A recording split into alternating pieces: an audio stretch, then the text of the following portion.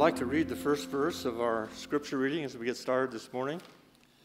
Luke chapter 4, verse 16. This is one of the first verses that I memorized after John 3:16.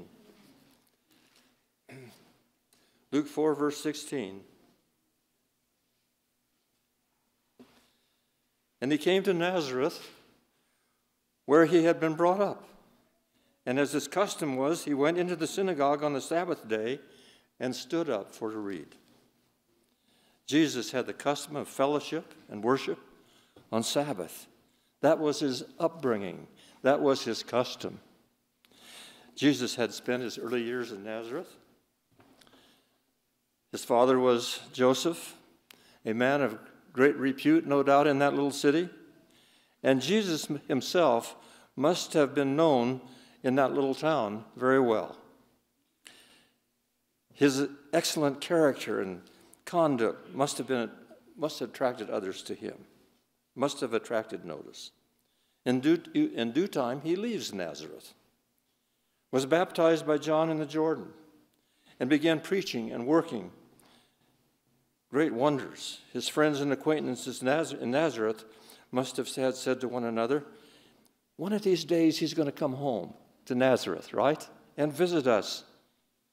And, we, and then we can see him. And when he comes, we'll go and hear what the carpenter's son has to say.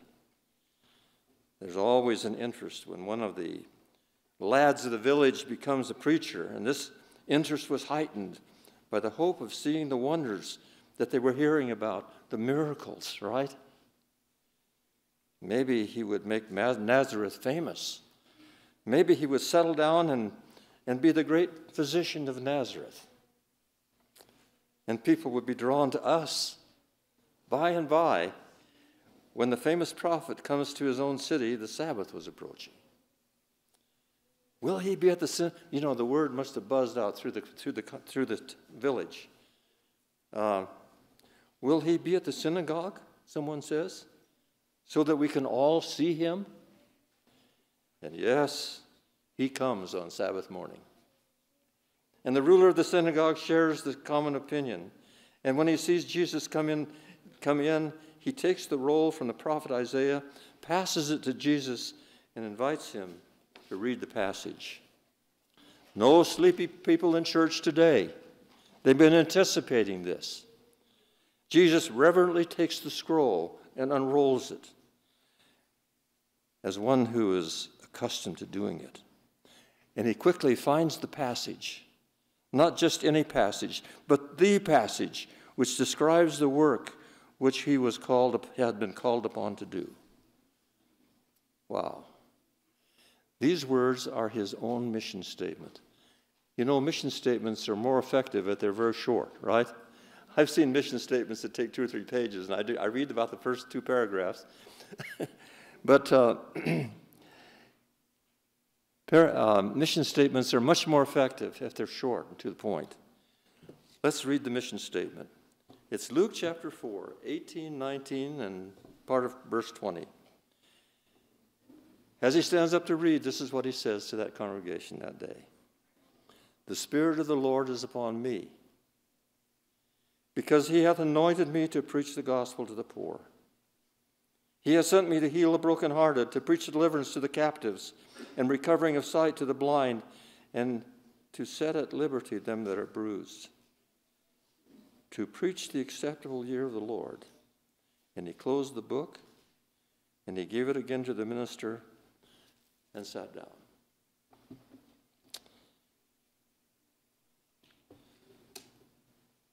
It's remarkable about what he did not read.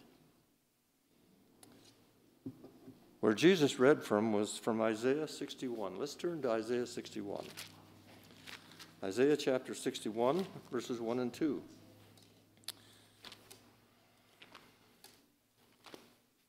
Isaiah 61, verses 1 and 2.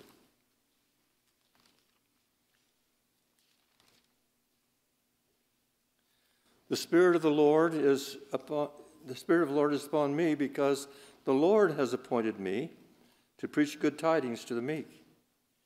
He has sent me to bind up the brokenhearted, to proclaim liberty to the captives and opening of the prison that to them that are bound, to proclaim the acceptable year of the Lord. And the, what does it say next? The day of vengeance. Jesus didn't read that part. Interesting. The day of vengeance of our God to comfort all that mourn. He stops in the middle of the sentence to proclaim the acceptable year of the Lord, and then he stops. The passage is not complete unless you read the words, in the day of vengeance of our God. He doesn't read those last words. These were his first words to the Nazarenes, the people of Nazareth. Wisely, he didn't want to talk in threatening words, but words of peace, gentle words, hopeful words, gospel words, his heart's desire that they all might be saved, that he might win some. And instead of a day of vengeance, it might be to them the acceptable year of the Lord. That was his goal. That was Christ's method. He leaves out the severe words at the beginning. Some of the most severe words in all the Bible is in the three angel messages. Were you aware of that? Some of the most severe words in all the Bible is in the third angel's message. Days of vengeance. Why don't we leave off the first message, the first angel's message, which is the everlasting gospel and, and uh, you know, those kind of words, which is about the everlasting, and start with the mark of the beast. That's what the third angel's message is about. Why don't we start there instead of the, the good words?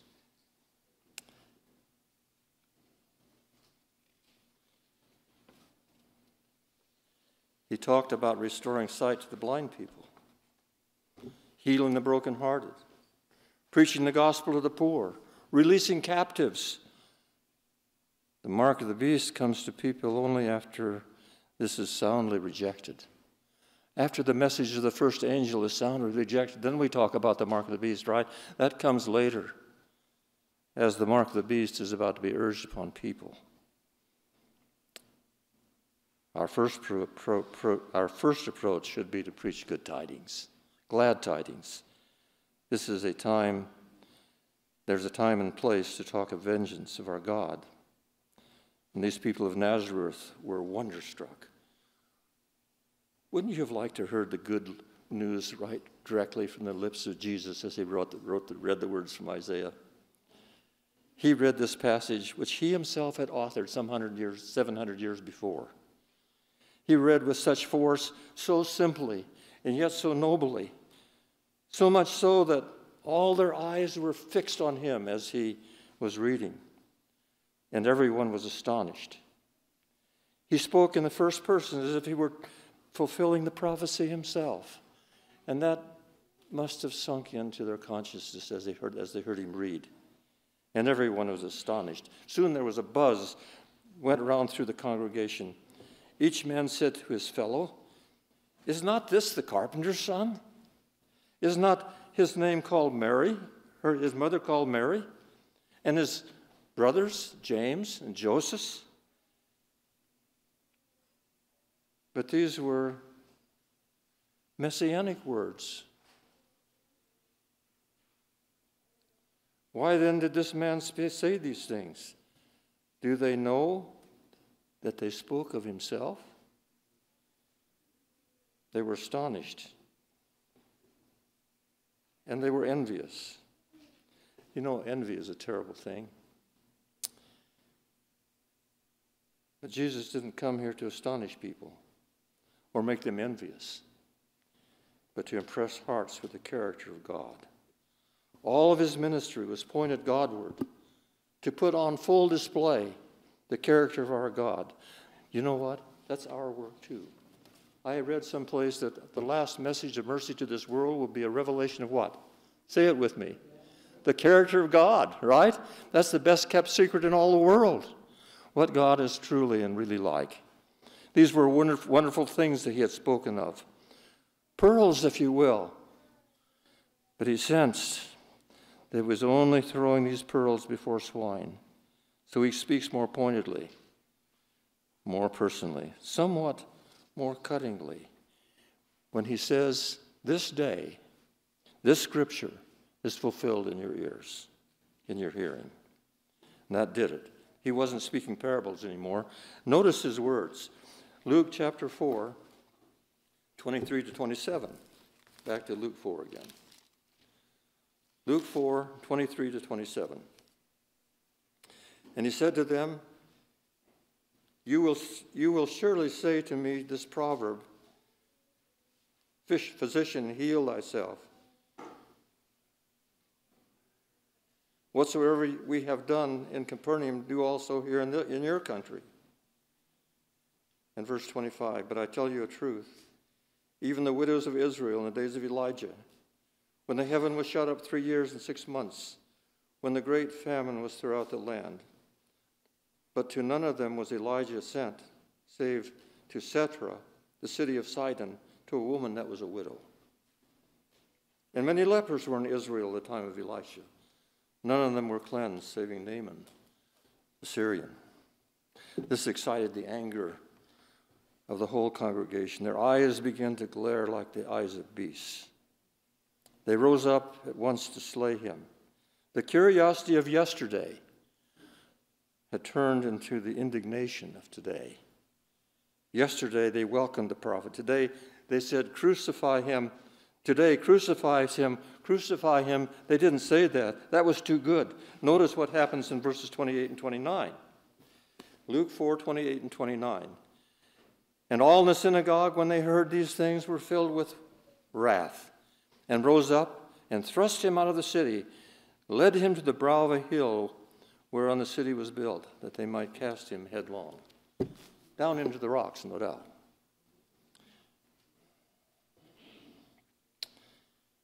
So they drag him out of the synagogue, breaking up the worship service, forgetful of the holiness of the Sabbath day. And they cast him forth into the lofty rocks of the cliff. And uh, he escapes harm. Notice verse 30. It says, And he passing through the midst of them went his way. Isn't that neat? Through the midst of them and went his way. They were astonished at what was happening too. What a termination such a wonderful beginning. Here was the best preacher in the whole world of all time, literally, and one of the most desirable audiences of people who were attentive. No one sleeping that day. Every ear was open, every mouth is, is open as he begins. Eyes were as big as cantaloupes, such expectancy of what he would say. Maybe there will be innumerable conversions here today. but maybe Nazareth will become the great stronghold of Christianity. But no such thing. Such is the perversity of fallen human nature, where we expect much sometimes and we get so little. The field that should be producing hundredfold of wheat brings forth only weeds and thorns and thistles.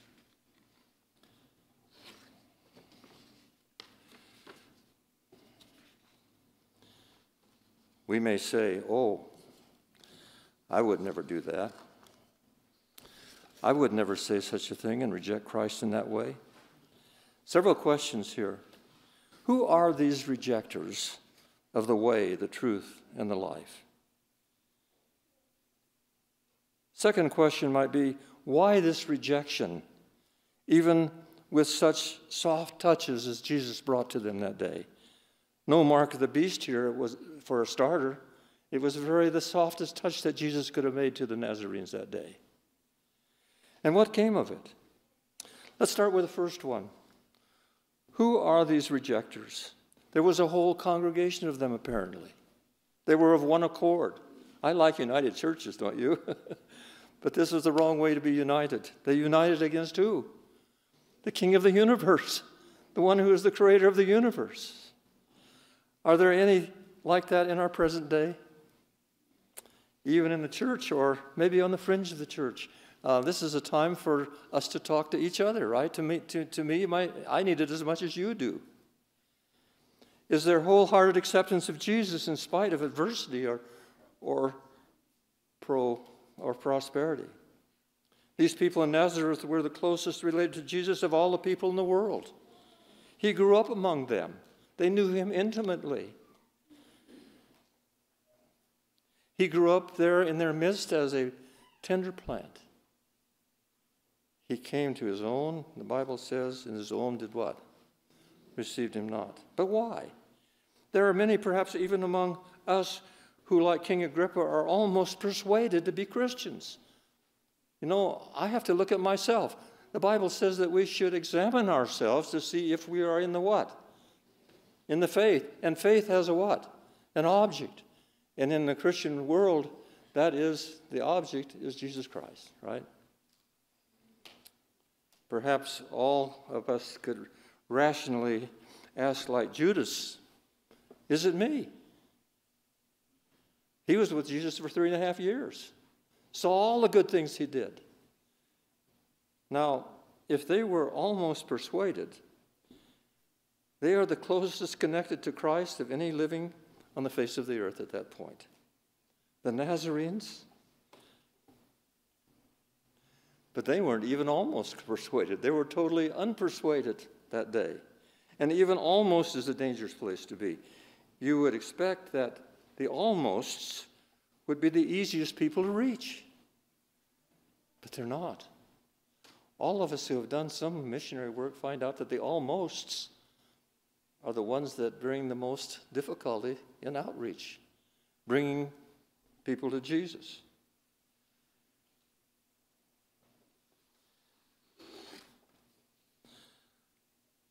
I want to make a close application here this morning. I speak these words to myself. I need this message as much as anyone in this congregation. I live in the same marketplace as you do. Those people of Nazareth knew more about Jesus than any other people in the whole world. They were well acquainted with his mother and the rest of his relatives. They knew Christ's whole pedigree. They could tell at once that Joseph and Mary were the tribe of Judah. They probably knew about his miracle birth and why they first went to Bethlehem and then their trip to Egypt. The whole story of, his of this wondrous child were known to them. They didn't know the rudiments. They didn't need the rudiments, I should say. They didn't need the rudiments of the Christian faith, the basics of his existence. Thus, they should have been very hopeful people for Jesus to preach to. What about us? Many of us know the very, very wonderful truths of the gospel. Some of us have known it from childhood, right? I can remember probably back to four years of age. I remember the picture rules, roles in Sabbath school, right? And more than that, the doctrines are well understood by, by many of us. To perhaps all, or at least most of us, the Bible is not a dark and mysterious book. but very believable and relevant. Many are able even to teach others, many of us. George Whitefield. you've heard of George Whitefield, the great evangelist of the 1700s. There was a great re- religious awakening going on in England. There was a powerful evangelist named George Whitefield, and he had great successes in reaching people. But it is said that he preached the gospel to people who never heard it before. the message, the masses of England were the people that came to hear him preach, people who were not familiar with Scripture. And to them, the gospel was a very, very new thing. The simplest gospel. Believe and live, he preached. Look and live had been replaced in the established church of the day with liturgy and pomp and circumstance. They built cathedrals in that time. This was the Sardis church of Earth's history, mid 1700s. Uh, actually, from the 1600s to the mid 1700s. And now this great religious revival, revival was sweeping England. And the gospel came from Whitefield's lips. It was crisp and fresh to all of them. Tens of thousands responded to the purest gospel as though it were fresh manna from the skies. Those people were not almost persuaded. They'd never heard it before. You know, it's, it's very easy sometimes to find a willing heart. And it's almost like a white blank piece of paper. You, you know, this is the first time they heard it. Isn't that neat? I just love that. Sometimes that happens. And they accept everything that you, that you tell them because it right, comes right directly from the Bible. We should be very Bible centered, right? Everything we should, send, we should teach should be fresh from the Bible. They came to his meetings by the, they came forward in his meeting. When he had a call, a call for, for, for repentance, they would come forward by the hundreds.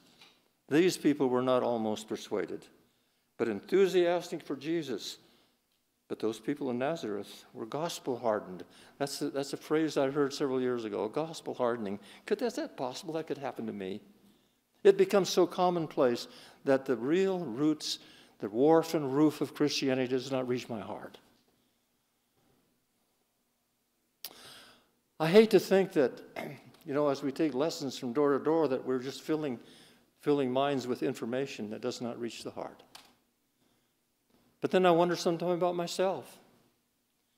And I tell you what, I pray for this congregation every day. May we have a heart connection with the message that we, that we present. Those people in Nazareth were gospel hardened. The angles and corners of truth were worn off. These were people who thought they had a claim, claim to Christ. By contrast, in our day, 300,000 people were baptized in India and accepted the Bible message in one, in one area. People who have never heard respond to God's voice in a way different, perhaps, than some of us do. The people of Nazareth wanted to see their sick healed too. But they also thought it was their right. They thought they were entitled. Why? Because they thought they owned Jesus. He grew up among them, they knew him, they knew his family because he had grown up among them and, and they had an entitlement to him. They were complacent and smug. They had, a, they had a reason for him wanting to see him come to Nazareth. They wanted to see some miracles, right?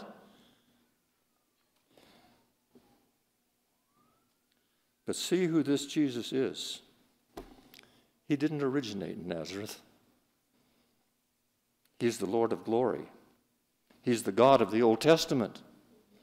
He left heaven and came to this dark world. He's the creator of galaxies. On this point, we must read the Bible as it reads. And it was pure mercy of God that we're saved because of a God of love. I'd like to have you turn with me to Lamentations. You're all familiar with this passage. That's the little book that's right after Jeremiah. Easy to find if you know what is near. These are the Lamentations of Jeremiah. Some have thought and written that uh, he wrote Lamentations as a result of the death of King Josiah, the last good king of Judah. And uh, so he writes the Lamentations. Jeremiah's work was a, was a hard work. He talked about false prophets. He talked about Babylon coming down from the north and decimating their city. And, uh, you know, uh, Josiah, when he died, Jeremiah suffered greatly. But notice Lamentations chapter 3, verses 22 and 23. We don't have a divine right to anything. We're, we're, we're, the, we're, the, we're, the, we're the, the recipients of pure mercy, unmerited mercy, right? We need to look at that, look at things that way. Lamentations 3, 22 and 23. Can't get my page to separate here. It is of the Lord's mercies that we are not consumed, because his compassions fail not. They are new every morning. Great is your faithfulness. What a passage. Um, learn to know where that's from. You'll use that again and again as you, as you, as you work with people. Salvation is not a right. Just because we might think we are the remnant They thought they could command his powers at their discretion. Luke chapter 4, verses 26 and 27, we read about Elijah and Naaman, the Syrian king or a Syrian general. The people in Elijah's days were like that divine rights. But where was Elijah sent when the famine was the greatest during that three and a half year period? To those who knew nothing. All the while, there were many widows going hungry in Judah. Who was healed of leprosy when there were lots of lepers in Israel? To one who knew nothing. Naaman, a government employee of a most hated enemy, the Syrians. And he was healed of his leprosy. Our great God rejected the idea and would not wear their yoke. I pray this morning that none of us are almost secure or almost persuaded, but altogether persuaded. Every one of us. If we think we have a claim on grace, that may be a big stone in our pathway. We don't want to begin thinking like the Jews of Christ's day that Christ will cast an eye of favor upon us as others perish around us. Because God is no respecter of persons. God will do as He wills. I'm glad that He's a sovereign God, aren't you? And when I know about God's character, I'm more than glad that He is a sovereign God. It'd be a terrible thing if He was not a kind and merciful and, and a, a God of love. His name is love. If He was not that and sovereign, it would be a bad thing, wouldn't it? What would we be into? But it's not that way. He's not a respecter of persons. God will do as, will, as he wills, and righteously so, with his own. And publicans and harlots could be, go before us into the kingdom if we think we have a divine right to mercy. Remember, grace is unmerited favor.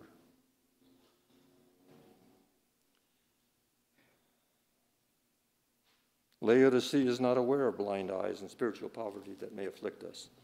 God's mercy is his sovereign gift, and he will populate with heaven those who are the poor in spirit, humble and thankful. These, these are the ones that will see God. These will reign with him. I just love the promise made to Laodicea in Revelation chapter 3, verse 21. I read it often in a Bible study. Revelation 3, verse 21. I have to tell you, I confess, I don't even know what it means. Verse 21 of Revelation chapter 3. I want you all to feast your eyes on this. To him that overcomes, will I grant to sit with me where? In my throne, even as I am also overcame and am set down with his Father, with my, with my Father in his throne. Anybody know what that means? I can't wrap my mind around that one somehow. The poor in spirit are the ones that are going to sit there with the Lord. This was a major subject in the teachings and preaching of Jesus. God says, I will have mercy upon whom I will have mercy, right? I will have compassion on whom I will have compassion. I'm glad it's that way because He's the righteous God, perfect in all of His ways. Who are we then to judge our brother? Perhaps we need to enter our own closets, pour out our hearts before God, and say, Lord, have mercy on me, a sinner. If that's our prayer, we're in a strong position with God so He can bless us with the dignity of His own love. We're in a strong position with God if that's our, yes, that's our attitude. When we, when we are smitten with adversity, then we can see the utter necessity of casting ourselves on Him, like Jacob wrestling with the angel. I won't let you go unless you bless me. Please, all of us, take up the position which grace accepts and go on to higher ground from here. We are a total welfare case in constant need of strength.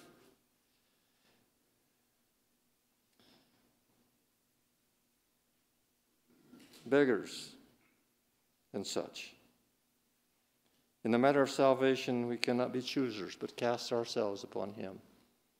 Jesus said, Fall on the rock and be broken. I'm not sure I know in my own experience exactly what that totally means. But then he gives a little warning. He says, Don't let the rock fall on you, right? Like the woman who at great effort is able to touch the hem of his garment. Oh, if I could just touch the garment. And we are at every moment in need of the same thing, the same virtue that comes only from him. Such become the sons and daughters, daughters of God. I pray that this whole congregation sees yourself in that way not beggars anymore. But as uh, was mentioned to us in the Sabbath school opening remarks this morning, friends, he counts us as his friends. Isn't that neat? I don't know what that means either. We haven't experienced friendship like that, right? That's a friendship that's higher than anything we've ever experienced. The idea of spiritual pride entered the church called Sardis, the fifth church in Revelation chapter 3. The time, 16th and 17th century. It was, it was post Reformation. The great reformers were gone Luther and Melanchthon and Baxter and, and uh, Calvin and, and Zwingli. They were all gone now, okay? The sons of the Reformation had lost the inspiration of salvation by faith through grace that came from the lips of Luther and his companions. They built large cathedrals, pomp and circumstance and liturgy and ceremonies before God, and people forgot the purest and simplest gospel. It was against this that great preachers like Whitefield and Spurgeon began to see a great religious awakening as they preached. And at this time, the great printing presses began to roll. Bibles were printed, mission boards were set up. Bible societies were formed to distribute the wonders of God's grace to the world. Great religious awakening of the 18th century. All this paved the way for the Philadelphia church and brotherly love, to whom is opened the door of God's sanctuary. Behold, I have set before you what? An open door into the very holy of holies in heaven. And God said, Behold, I have set before you an open door, but with such great light for the world Laodicean pride and blindness set in. Such a hopeful thing. Philadelphia, that was the church of the great disappointment. Within a few short years, the Laodicean blindness and nakedness began to settle in. Almost persuaded. That's where we are today. What will we do with the great light? That we have been given. Our challenge this morning is to spend time with God every day, to fall on the rock and be broken. Why do we study the Bible? Why do we spend time? Why do we, why do we talk about giving our hearts to Jesus? Why do we do that? For the purpose of knowing Him, whom to know is eternal life. Fall on the rock and be broken. Plead with God for humble and thankful hearts and be ready when God calls. Believe and live. And perhaps we can benefit from the mistakes of Nazareth. So uh, this morning, as we as we sing our closing song, let's make it a heartfelt prayer. Pass me not, O gentle Savior. Hear my humble cry, while on others thou art calling. What does it say? Don't pass me by. Okay. Our dear Father, you've heard our prayer this morning. We pray, Lord, that we have true hearts, sincere hearts, that we approach you, Lord, in a very sincere way each day. Lord, put it in our hearts to spend some time with you, to Make that our first work to give ourselves to you. I pray that you'll be with each one of us here today. Lord, I pray that none of my words are discouragement, but are an encouragement to us to higher ground, to a closer connection with you. And I pray that you'll be with each one today according to our several needs. And I pray it all in Jesus' name. Amen.